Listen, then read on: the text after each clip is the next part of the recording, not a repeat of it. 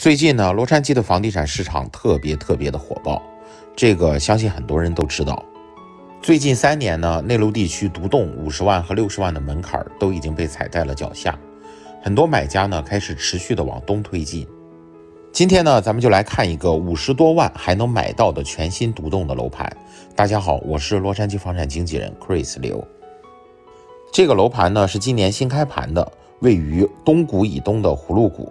它在十五号高速的以东，属于河滨县，所在的位置呢，离东谷即将开业的九九大华超市、Costco 超市大概十四分钟的车程。整个社区呢，共有十一个户型，全部都是前面有车道、后面有院子的 single family。这是一个占地一万八千英亩的大社区，整个社区呢是没有物业费的。同样类型的房子在东谷大概六十五万起。在这里呢，五十万出头，那么十几万的预算，这里呢距离东谷十几分钟的车程，那么十几万和十几分钟哪个划算？这个由您自己来判断。咱们接下来呢再说一说缺点。首先呢，这个楼盘跟内陆的大部分新盘一样，也是一点九的地税，这个税率呢跟老房子比起来是高，但是跟新房子比，大家其实都是这样。第二个呢就是。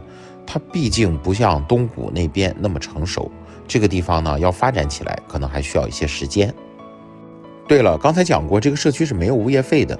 那相比于内陆那些有物业费的社区，那么它的持有成本呢是低了不少。咱们现在呢就是在房子里面，咱们可以看一看，这个占地都还蛮不错的，而且呢房子都是目前最流行的设计和用的最新的材料。咱们再说一说这个楼盘火爆的情况。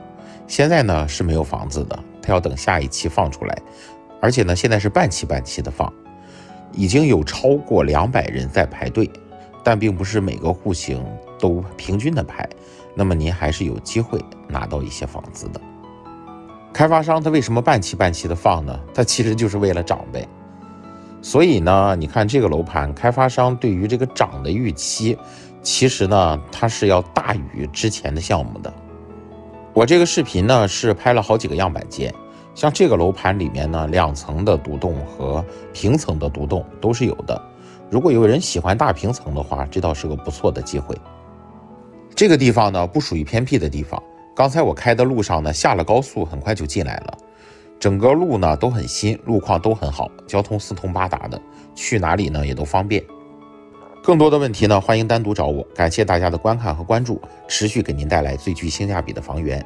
今天呢，咱们就聊到这里，下次咱们接着聊。